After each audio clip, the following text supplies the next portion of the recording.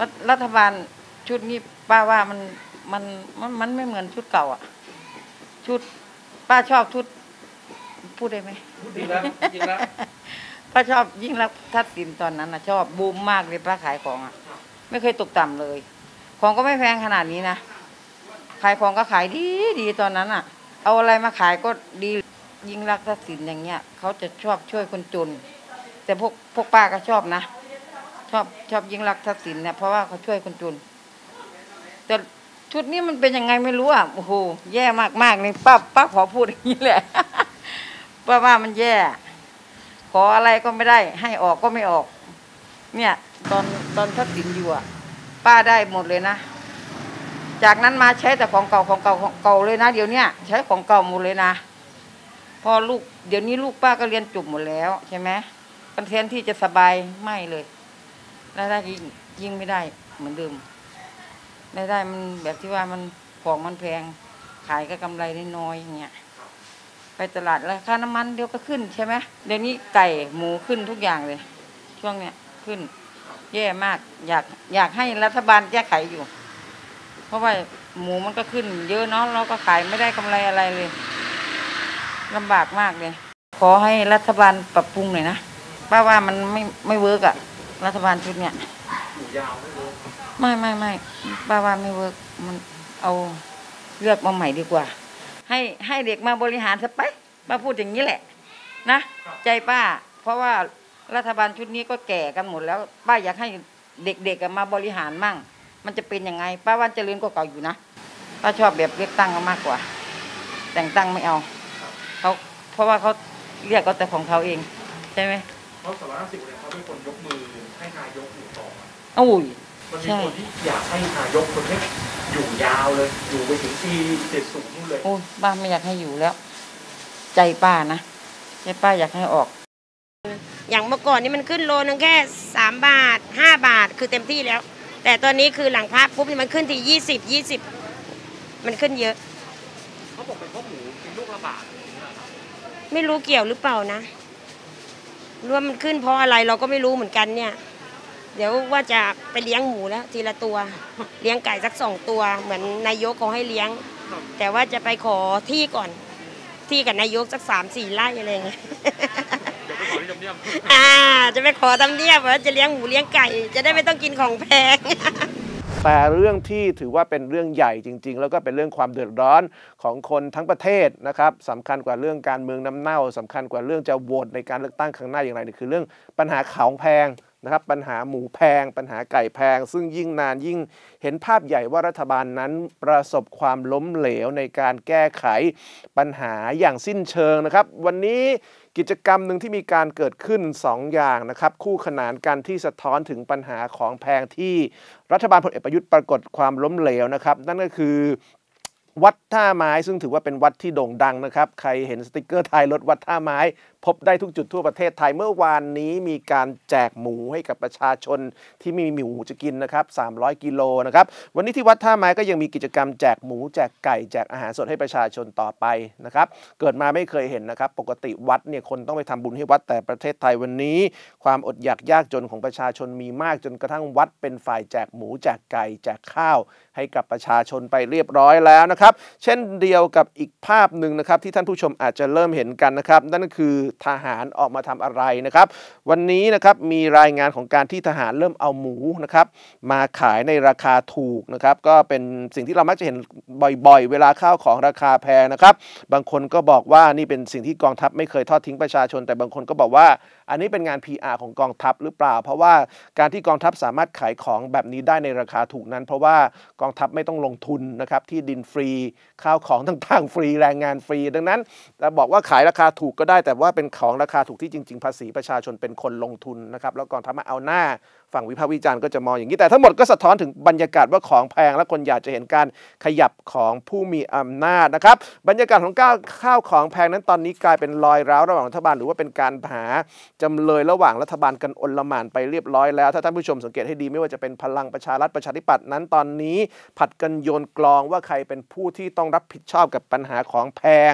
ปัญหาหมูตายจนเป็นชนวนให้เกิดการระเบิดของของแพง โดยเฉพาะอย่างยิ่งอาหารนั้น เป็นสิ่งที่พลเอกประยุทธ์ปฏิเสธไม่ได้เพราะพลเอกประยุทธ์คือหัวหน้าทีมเศรษฐกิจ และท่าทีพลเอกประยุทธ์ล่าสุดที่อุ้มอธิบดีปศุสัตว์นั้นยิ่งทำให้พลเอกประยุทธ์ปฏิเสธไม่ได้มากยิ่งขึ้นว่าหมูที่ตายเป็นล้านตัวหลังจากปี 62 หรือ 60 นั้น ความรับผิดชอบของพลเอกประยุทธ์อยู่ที่ไหนแต่ฟังพลเอกประยุทธ์ก็พยายามจะโจมตีนะครับว่าต่อยพลเอกประยุทธ์เป็นหัวหน้าทีมเศรษฐกิจ งานของแพงอยู่ที่กระทรวงพาณิชย์อยู่ที่ประชาธิปัตย์นะครับเพราะฉะนั้นก็เป็นการโยนกรองไปโยนกรองกันมา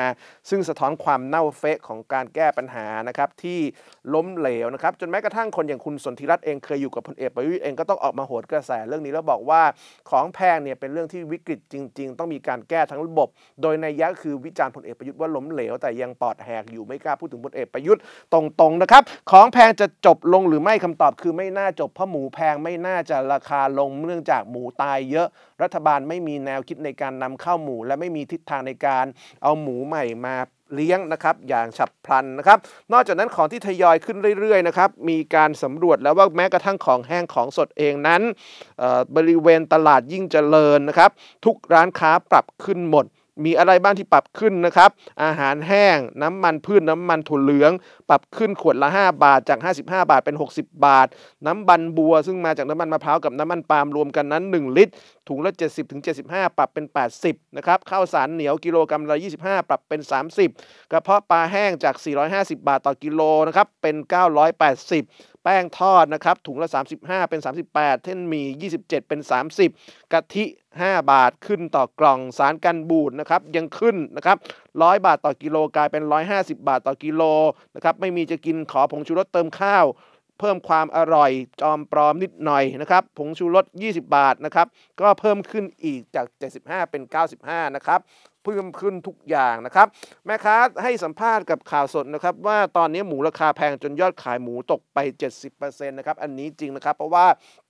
พอหมูแพงสายหมูกรอบชีวิต อันมีความสุขล่มสลายไปเรียบร้อยแล้วนะครับ ร้านค้าข้าวหมูกรอบจำนวนมากเลิกขายหมู เพราะว่าหมูสด 1กิโลนะครับทำหมูกรอบได้แค่ประมาณ 4 จาน ถ้าจะขายก็ต้องขายจานละ 80 หรือว่า 100 บาท ซึ่งไม่มีใครกินอย่างแน่นอน ทุกวันนี้ผมเจอโจ๊ก60 ผมยังถอยแล้วนะครับ ดังนั้นหมูกรอบตอนนี้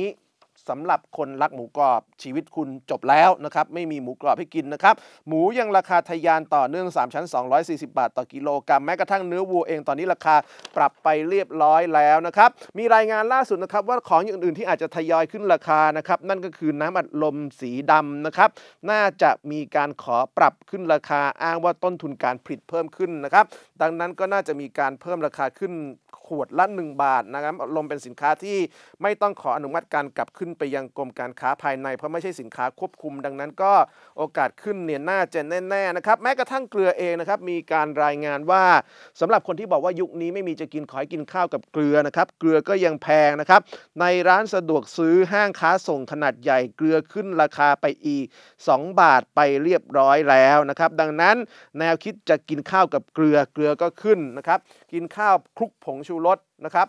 ผงชูรสก็ขึ้นนะครับ แม้กระทั่งมะละกอเองนะครับ ราคาก็ขึ้นนะครับทำให้ในที่สุดนั้นราคาส้มตำก็น่าจะทยอยขึ้นตามไปด้วยนะครับมะละกอซึ่งเป็นวัตถุดิบนะครับในการทำส้มตำที่เป็นอาหารหลักของคนไทยจำนวนมากราคาขึ้นไปเรียบร้อยแล้วปลาดุกก็ขึ้นนะครับจากกิโลละ 50 บาท ต่อกิโลเป็นกิโลกรรัมละ 55 บาทนะครับตอนนี้ตลาดข้าวแกงส่วนใหญ่ก็ราคาเปิดที่ 50 ไป 60 เรียบร้อยแล้วแกงถุงจาก 50 เป็น 60 ส่วนที่ขาย 60 ก็ ปรับไปเป็น 70 นะครับมะละกออถุง 10 กิโลกรัมเมื่อก่อน 60ถึง70 บาท ตอนนี้พุ่งไป 220 บาท หลังจากน้ำท่วมราคาก็ยังไม่ลดลงนะครับ เริ่มมีการวิพากษ์วิจารณ์นะครับว่ารัฐมนตรีพาณิชย์ทำอะไร คุณจุลินทำอะไรโดยเฉพาะอย่างยิ่งในโซเชียลมีการแฉว่าคุณจุลินสมัยยิ่งลักษณ์เป็นนายกนั้นขยี้คุงยิ่งลักษณ์เหลือเกินราคาไข่แพง 10 ฟองนะครับคุณจุลินตอนนั้นอัดคุณยิ่งลักษณ์หนักตอนนี้ทำอะไรนะครับการล้อเลียนรัฐบาลหรือการตั้งคำถามรัฐบาลนั้นตอนนี้กลายเป็นเรื่องซึ่งใครๆก็ล้อกันนะครับ ไม่ว่าจะเป็นเด็กไม่ว่าจะเป็นผู้ใหญ่นะครับ แม้กระทั่งในรายการนินทาประเทศไทยของนันเน็กนะครับ มีพิธีกรหลายคนคุณไดไดอาน่านะครับ รุ่นใหญ่นะครับน้าหมึกวิโรจน์ควันธรรมนะครับ ทิดเอกอดีตพระมหาไพรวัลย์นะครับ คุยเรื่องนี้กันอย่างสนุกสนาน มีความฮือฮาเกิดขึ้น เพราะว่าพอเปิดสายให้มีการชมเอ่อโทรเข้ามานั้นผู้โทรทางบ้านน้องเฟิร์สบอกว่า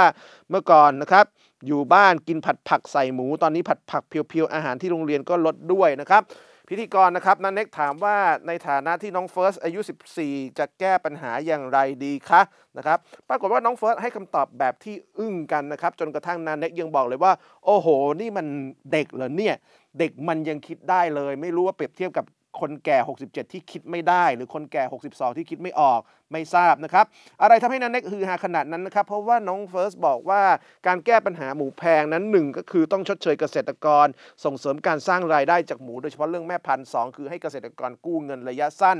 เอาไปพัฒนาฟาร์มหมูที่ป้องกันโรคได้รวมทั้งสั่งหมูมาจากต่างประเทศนะครับและ 3 คือส่งเสริมบูรณาการทุกอย่างเป็น smart farmer สร้างความฮือฮากันว่าเด็กมันยังคิดได้ส่วนลุง 67 คิดได้หรือเปล่าไม่ทราบ